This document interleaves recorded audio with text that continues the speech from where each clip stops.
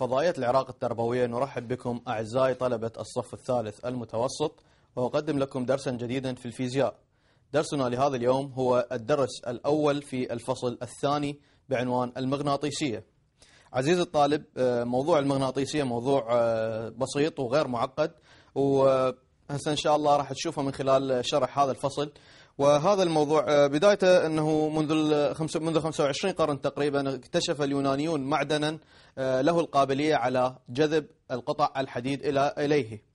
وهذا المعدن أطلق عليه اسم الماغنيت. وهذا ال- ال- المعدن بعد أن اكتشفوه واكتشفوا أنه له القابلية على جذب القطع الحديدية له وسمي بالماغنيت هذا المعدن آه، اكتشفوا أنه عبارة عن أكسيد النح... آه، أكسيد آه، أكسيد الحديد الأسود اذا هذا نقدر نقول عليه آه، مغناطيس طبيعي اللي هو عبارة عن أكسيد الحديد الأسود وسمي فيما بعد بالحجر المغناطيسي. اذا هذا نقدر نقول عليه مغناطيس طبيعي. المغناطيس الطبيعي هو عبارة عن أكسيد الحديد الأسود اللي يطلق عليه بالحجر المغناطيسي واللي تم اكتشافه من قبل اليونانيين آه، واستخدموه العرب أيضا آه، كحجر مرشد في السفن وإن شاء الله راح آه، نتعرف بعد قليل آه، عن كيفية آه، استخدام هذا المغناطيس أو هذه المغانط في حركة السفن. هذا بالنسبة آه، كمقدمة بسيطة إلى موضوع المغناطيس.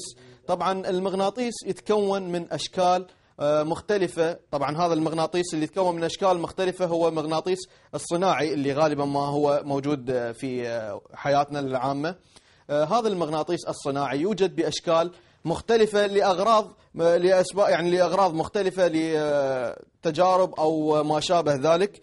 آه، هذا المغناطيس ال- المغناطيس الصناعي يكون بأشكال مثل ما قلنا يا أما على شكل حرف يو أو على شكل ساق مستقيم. نقدر ناخذ هذا على شكل سؤال بسيط عزيز الطالب. سؤال. سؤال. تصنع المغانط الصناعية بأشكال مختلفة بأشكال مختلفة. ما الغاية من ذلك؟ ما الغاية من ذلك؟ هذا هو السؤال عزيز الطالب. بالنسبة إلى المغانط الصناعية. إحنا ذكرنا المغانط الصناعية. تكون يا أما على شكل ساق مغناطيسي أو على شكل حرف يو أو بأشكال مختلفة أخرى آه، ممكن تكون موجودة في التجارب أو في أي آه، شيء مشابه. آه، طبعا الجواب هنا تصنع المغانط الصناعية بأشكال مختلفة. ما الغاية من ذلك؟ هذا هو السؤال. وذلك تبعا لاستخداماتها أو استخدامات هذه المغانط المختلفة في كثير من الأجهزة المتنوعة أو المختلفة. هذا هو الجواب لهذا السؤال. ناخذ سؤال آخر هو ما هي استخدامات المغانط أو ما الغاية من من استخدام المغانط أو ما فائدة المغانط هذه؟ طبعا السؤال ممكن يجي بأكثر من صيغة. سؤال. آه، نقدر نقول تلعب المغناطيسية. تلعب المغناطيسية. دورا. مهما. في حياتنا. اليومية. وضح ذلك مبينا استخدامات المغانط أو استخدامات المغناطيس. هذا هو السؤال وممكن نصيغه بصيغة أخرى هي ما فائدة المغانط ما الفائدة العلمية لهذه المغانط؟ أو ما هي استعمالات هذه المغانط؟ يعني عزيز الطالب أنت آه هذا السؤال مو شرط يجيك بصيغة محددة وتتقيد به ممكن يكون له أكثر من صيغة. الجواب لهذا السؤال هو تلعب المغناطيسية دورا مهما في حياتنا اليومية وضح ذلك مبينا استخداماتها. أول, استخد... أول... أول نقطة هي لأنها تدخل في كثير من الصناعات.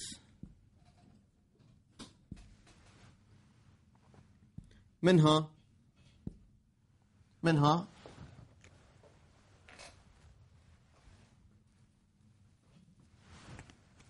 منها أولا المغانط الصناعية الكهربائية الضخمة التي تستعمل لرفع قطع الفولاذ أو حديد الخردة اللي إحنا نسميها السكراب. طبعا هذه آه، يعني ممكن تكون شايفة عزيز الطالب في الأفلام المغانط الصناعية الكهربائية الضخمة تستخدم في رفع آه، الفولاذ والحديد الخردة من آه، أماكن من أماكنها مثل ما شايفيها بالأفلام يكون المغناطيس موجود وإلى القابلية على سحب قطعة الحديد الخردة من الأرض بواسطة القوة المغناطيسية الكهربائية اللي يمتلكها هذا المغناطيس. هذه هي النقطة الأولى. النقطة الثانية في السماعة اللي هي مولدات الصوت. كلكم شايفين أعزائي الطلبة السماعات اللي موجودة في الراديو أو المسجل أو التلفزيون أو سماعات الأذن. آه، عبارة عن مغناطيس. هذه السماعات هي كلها عبارة عن مغناطيس. فلذلك تستعمل أيضا المغناطيسية تستعمل في السماعة اللي هي مولدات الصوت. النقطة الثالثة في المولدات والمحركات الكهربائية. المولدات والمحركات الكهربائية. وطبعا هذه آه، إن شاء الله راح نتناول مواضيعها في آه، دروس آه، قادمة أخرى إن شاء الله أو في مراحل متقدمة. النقطة الرابعة أيضا مثل ما ذكرنا يستخدم في التلفاز وأجهزة التسجيل الصوتي. هذا اللي إحنا آه، نقدر نقول عليه الشريط المغناطيسي أو الكاسيت اللي آه، موجود عندنا بالأسواق آه، عبارة عن شريط ممغنط. النقطة الخامسة في الحروف المطبعية للآلة الكاتبة للآلة الكاتبة في الحروف المطبعية للآلة الكاتبة أيضا تستخدم المغناطيس لهذه الحروف تكون آه، ممغنطة بحيث آه، تطبق على الورقة وتطبع الحرف. والنقطة السادسة تستعمل أيضا في بوصلات الملاحة. طبعا تستخدم في بوصلة الملاحة لغرض معرفة الطريق وفي الملاحة البحرية لمعرفة اتجاه الشمال واتجاه آه، الشمال الحقيقي واتجاه الجنوب أيضا. طبعا بالنسبة إلى البوصلة البوصلة اللي هسه عرفنا هي بها مغناطيس واستخدامات آه، مغناطيسية. بوصلة الملاحة هذه عبارة عن إبرة مغناطيسية. هذه هي الإبرة المغناطيسية. تدور بحرية حركة دورة كاملة وتكون مستندة أو تستند على عمود مدبب. هذه هي الإبرة المغناطيسية هذا اتجاهها يشير إلى الشمال وهذا اتجاه يشير إلى الجنوب. هذه الإبرة المغناطيسية آه، تكون حرة الحركة آه، لمعرفة الاتجاه من خلالها ومثل ما قلنا تستند على محور آه، عمودي أو مدبب. هذه هي الإبرة المغناطيسية. ويكون أساس عملها تعتمد في أساس عملها على الخواص المغناطيسية. هذا بالنسبة إلى الإبرة المغناطيسية. الموضوع الثاني اللي موجود عندنا أعزائي الطلبة هو المواد المغناطيسية. المواد المغناطيسية آه، تصنف إلى ثلاثة أصناف وفقا لخواصها المغناطيسية. فهذه المواد هي البارامغناطيسية والدايامغناطيسية والمواد الفيرو مغناطيسية. راح أكتبها على السبورة على شكل مقارنة ونبين لك الرسم اللي يخصها. أول شيء خلينا نكتب سؤال. ما هي المواد المغناطيسية؟ يريد يعرف المواد المغناطيسية. المغناطيسية أو المواد المغناطيسية هي ثلاث مواد. واحد اثنين ثلاثة. المواد. الدايا مغناطيسية.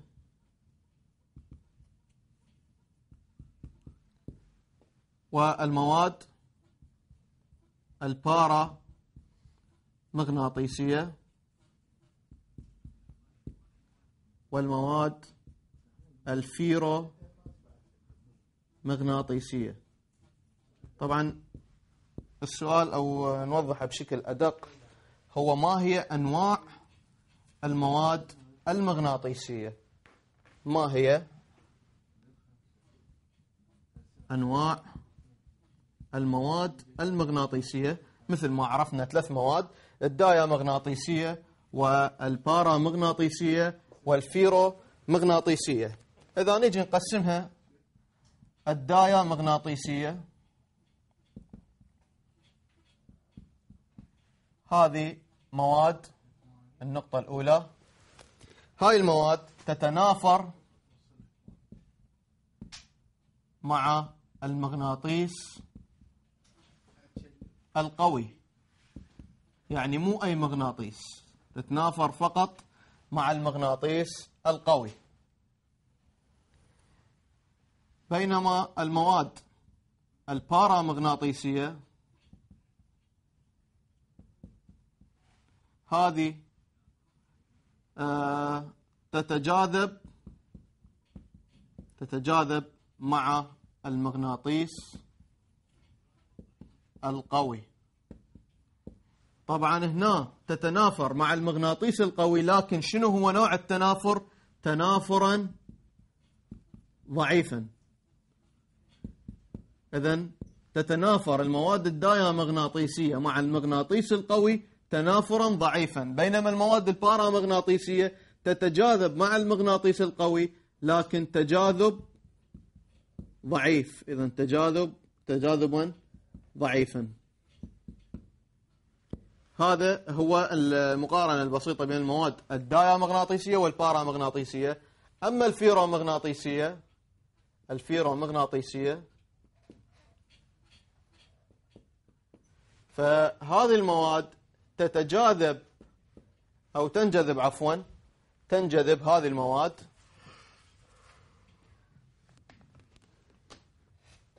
تنجذب نحو المغناطيس الاعتيادي. مو القوي هنا الاعتيادي لأنها تمتلك قابلية تمغنط عالية. إذا هذه المواد الفيرومغناطيسية تنجذب إلى أو تنجذب إلى المغناطيس الاعتيادي بينما الدايامغناطيسية آه، تتنافر مع المغناطيس القوي تنافرا ضعيفا والبارامغناطيسية تتجاذب مع المغناطيس القوي تجاذبا ضعيفا. هذا بالنسبة إلى النقطة الأولى. النقطة الثانية من أمثلة المواد المغناط الدايامغناطيسية آه، الفسفور الفسفور والزنك الرصاص القصدير إلى آخره من المواد الدايمغناطيسية. بينما من أمثلة المواد البارامغناطيسية البلاتين البلاتين الزجاج الأكسجين. السائل إلى آخره من المواد البارامغناطيسية. أما المواد الفيرومغناطيسية من أمثلتها؟ الحديد النيكل الكوبالت وإلى آخره من المواد الفيرومغناطيسية. النقطة الثالثة عزيز الطالب راح تبين رسم المجال المغناطيسي لهذه المواد. هذا هو مادة آه داية مغناطيسية. عند وضعها داخل مجال مغناطيسي فإن شكل خطوط المجال المغناطيسي سوف يكون بالشكل التالي. هذا هو شكل خطوط المجال المغناطيسي.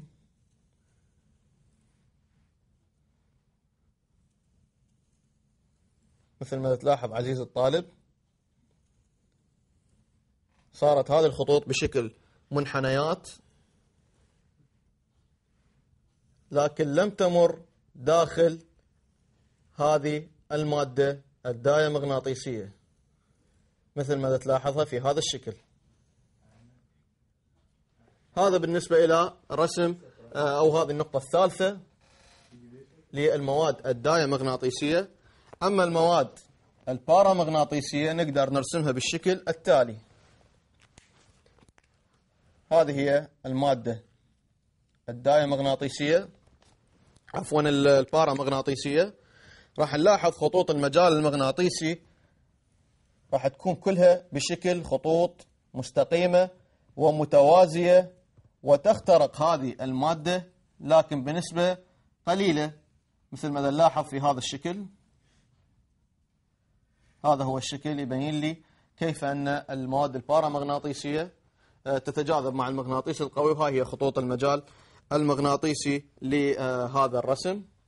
أما النقطة الثالثة بالنسبة للمواد الفيرومغناطيسية راح نلاحظ هاي الحلقة.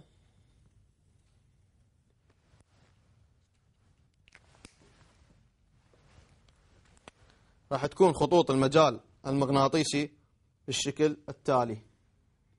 تخترقها بعدد كبير بالشكل التالي. راح نلاحظ هذه الخطوط أيضا تكون متوازية آه، خارج هذه المادة لكن في داخل هذه المادة راح نلاحظها خطوط تخترق هذه المادة وتكمل آه، مسيرها بالشكل التالي. هذا دلالة على أنه هذه المواد تنجذب إلى المغناطيس الاعتيادي وليس المغناطيس القوي. مثل ما تلاحظ هاي من الجهة العليا ومن الجهة السفلى.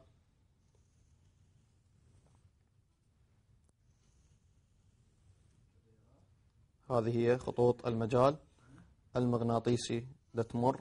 في هذه المادة الفيرومغناطيسية مثل ما نلاحظها في هذا الشكل. آه هذه مقارنة بسيطة إلى المواد المغناطيسية الدايمغناطيسية والبارامغناطيسية والفيرومغناطيسية. قلنا الدايمغناطيسية تتنافر مع المغناطيس القوي تنافرا ضعيفا ومن أمثلتها الفسفور والزنك والرصاص إلى آخره من المواد.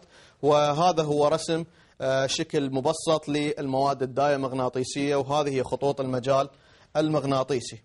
أما المواد البارامغناطيسية فهي تتجاذب مع المغناطيس القوي تجاذبا ضعيفا ومن أمثلتها البلاتين والزجاج والأكسجين السائل وإلى آخره من المواد.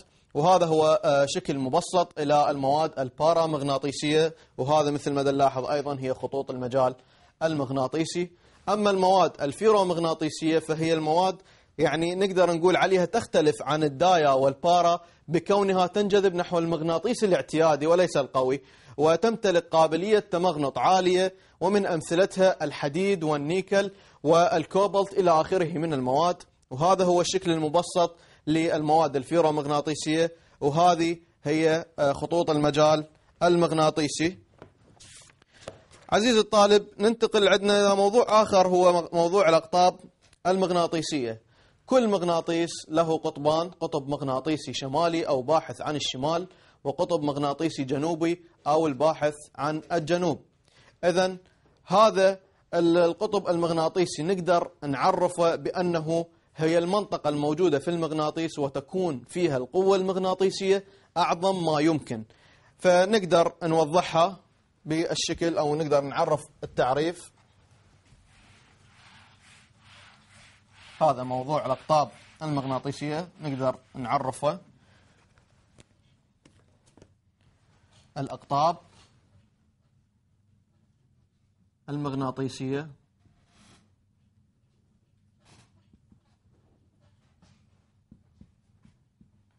مثل ما ذكرنا أنه القطب المغناطيسي نقدر نعرفه بأنه هو منطقة في المغناطيس أو هو المنطقة الموجودة في المغناطيس. يكون يكون عندها مقدار القوة المغناطيسية أعظم ما يمكن بأعظم ما يمكن. إذا هذا هو تعريف القطب المغناطيسي. هو منطقة في المغناطيس يكون عندها مقدار القوة المغناطيسية بأعظم ما يمكن. هنا عندنا آه، للمغناطيس للمغناطيس قطبان. إذا عرفنا أنه المغناطيس له قطبان. أحدهما يسمى بالقطب قطب المغناطيسي الشمالي.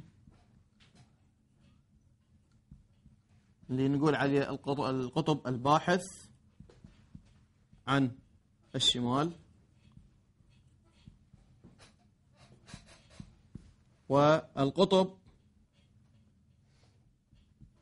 المغناطيسي الجنوبي. القطب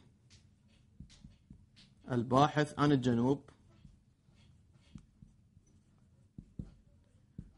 عزيزي الطالب نقدر نعبر عن الأقطاب المغناطيسية برموز فحتى نعرف رمز كل قطب راح نقدر نقول أن يمثل القطب المغناطيسي الشمالي.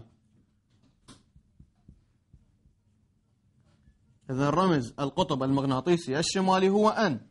وأس راح يمثل القطب المغناطيسي الجنوبي. إذا أن يمثل القطب المغناطيسي الشمالي طبعا حرف أن مأخوذ من آه، كلمة نورث اللي تعني الشمال فأن هو يمثل القطب المغناطيسي الشمالي وأس هي آه، القطب المغناطيسي الجنوبي وحرف أس آه، مأخوذ من كلمة ساوث اللي هي جنوب. إذا عرفنا الأن والأس. هنا راح ناخذ فد ملاحظة بسيطة. هي أنه لا يوجد قطب مغناطيسي منفرد. لا يوجد قطب مغناطيسي منفرد. يعني ما أقدر أحصل على قطب شمالي وحدة أو قطب جنوبي. وحده فإذا قطع المغناطيس إذا قطع المغناطيس إلى عدد من القطع إذا قطع المغناطيس إلى عدد من القطع سواء كانت كبيرة أو صغيرة آه، لا يمكن الحصول فإذا قطع إلى قطع آه، عدد من القطع صغيرة أو كبيرة لا يمكن أو فإن كل قطعة عفوا. فإن فإن كل قطعة تمتلك تمتلك قطبين مغناطيسيين أيضا.